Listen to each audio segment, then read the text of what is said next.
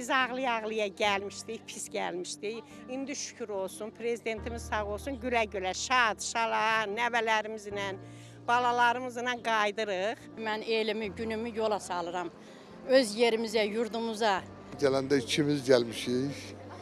İndi üç övladım, bir gəlinim, bir nəvəmlə qayıdıram təzədən ana torpağına. Özlərinin də dediyi kimi ağlaya-ağlaya gəlmişdilər, indi gülə-gülə öz doğma yurt yuvalarına, Laçına qayıdırlar.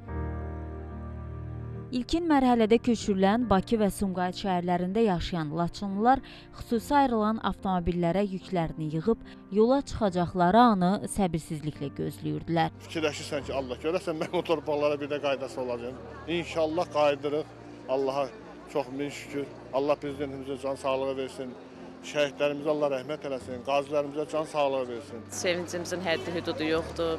31 ildən sonra vətənə qayıdırıq. bütün Laçınlılara bu doğma yurddakı səfərlərinin uğurlu, orada yaşayışlarının sülh əmin-amanlıq şəraitində keçirməsini Allahdan arzu edirəm. ki, mən çatanda qayıdıb qapımızın torpağından öpəcəm. Evimizi verib, qəşəng təmin elə, təmir elətdirib, remont elətdirib, bütün hər şey əvvəlkindən də gözəldir. Onlar Laçın şəhərində işğaldan əvvəl yaşadıkları, indi isə tamamilə yenilənən evlərdən məskunlaşacaqlar. Çox həyəcanlıyam. Ə, İnşallah əgər ə, mümkün olsa orada da karyeramı davam etdirmək istəyərəm. 17 yaşım var. Ə, Laçını heç vaxt görməmişəm. Ancaq videolarda, şəkillərdə gördüyümdür. Lakin buna baxmayaraq həqiqətən çox həyəcanlıyıq ailəvi olaraq ki, ora köçəcəyik.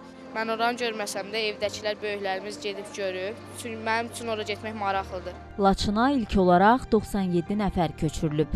Bu gün daha 20 evdə Şərqi Zəngəzurumuzda ocaqlar yanacaq, evlərimiz insan nəfəsi ilə isinəcək, uşaq, körpə səsləri gələcək. Köç prosesi zamanı qaçqınların və məcburi köçkünlərin işləri üzrə Dövlət Komitəsinin sədr müavini Fuad Hüseynov köçürülən ailələrin məşğulluq məsələlərinə diqqət çəkib. Məşğulluqla bağlı aidiyyəti qurumlarla tədbirlər görülür və ə, hər bir məcburi köçkün ailəsi öz doğma el obalarında işlə təmin olunacaq.